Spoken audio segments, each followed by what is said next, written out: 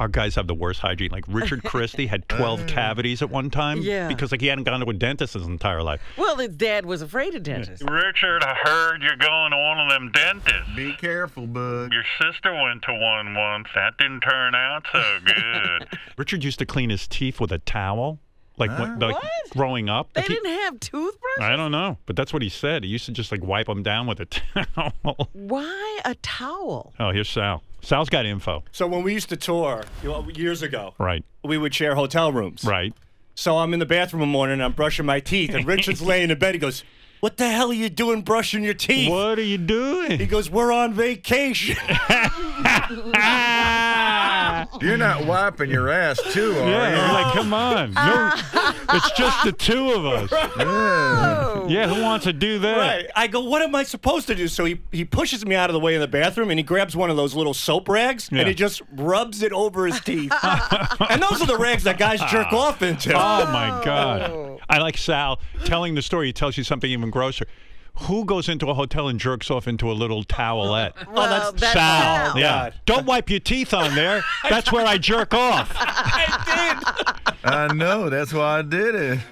Richard told one of us, because I remember hearing this story, that he was saying matter of factly that he had brushed his teeth once during his entire high school. Yeah, he's proud of that. How does that happen? Did he never have a girlfriend No. in all of high school? She didn't brush either. One time during your entire high school? Is that true? and why that one time? because I started getting really bad canker sores just because my mouth was so oh. gross. Oh my God. And I had to get canker sore medicine from a doctor. but and I br- tried brushing my teeth, and I was like, why do that if I could just take the canker sore medicine? doesn't it feel good when you brush your teeth? It does now. Yeah, I now love it now. understand. Yeah. I, It only I- took him 40 years to figure that out. It does now.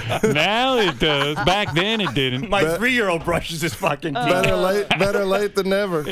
But where did the thing of rubbing the towel over your teeth? Well, I showed him that. I said, Richard, teeth are the work of the devil. You try eating something without your teeth. That's what a real man does. Just gum it. Gum it. I'll tell you, I made my first set of teeth out of raccoon bones. They work fine. We put the possum in the blender. It's. Yeah.